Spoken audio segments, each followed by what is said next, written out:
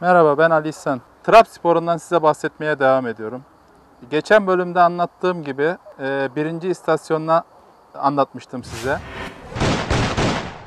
İlk trap atışını yaptığım zaman e, gözümü avcılıktan dolayı gözümü kapattığım için, tek gözümü kapattığım için e, plaka çıktığında şansımdan da sol plak çıktı. Plakayı görmediğim için plakaya tüfek bile atamadım.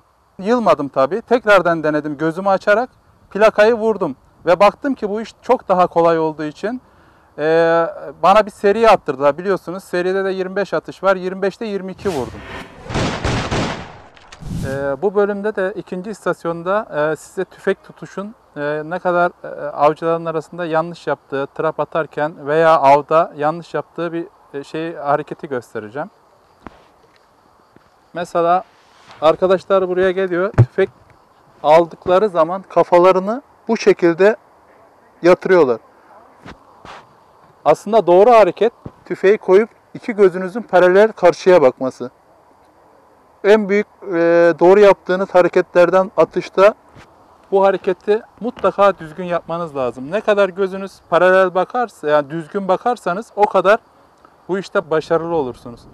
Benim de zamanında av yaparken yani buraya geldiğim zaman öğrendiğim burada büyük abilerimizden veya e, bize örnek olan e, büyük atıcılardan öğrendiğimiz hareketler e, bize doğru yola yani bunun doğru olduğunu gösterdi. Genelde ben de geldiği zaman arkadaşlara yardım ederken poligonda en büyük yanlışlıkları bu.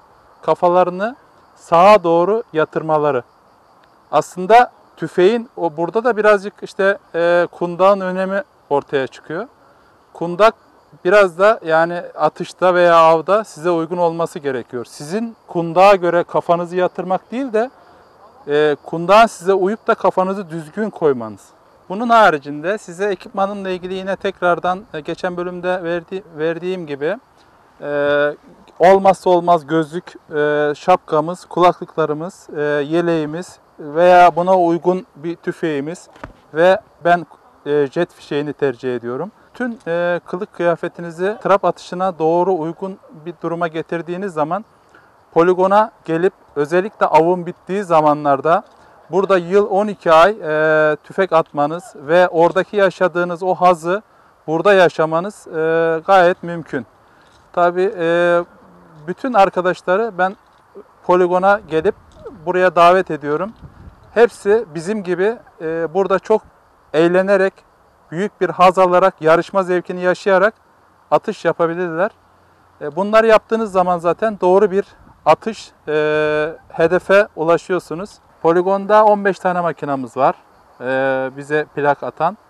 İkinci istasyonda da 3 tane makinamız var. 3 makinanın biri sol, biri sağ, diğeri orta. 2 sağ, 2 sol, 1 orta atıyoruz. Her istasyondan toplam 5 atış yapıyoruz tamamen atışın hepsini 25 atışta bitirmiş oluyoruz.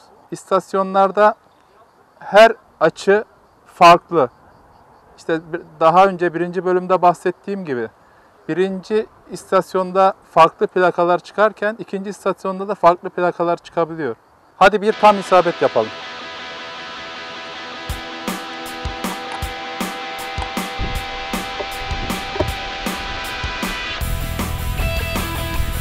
Hop.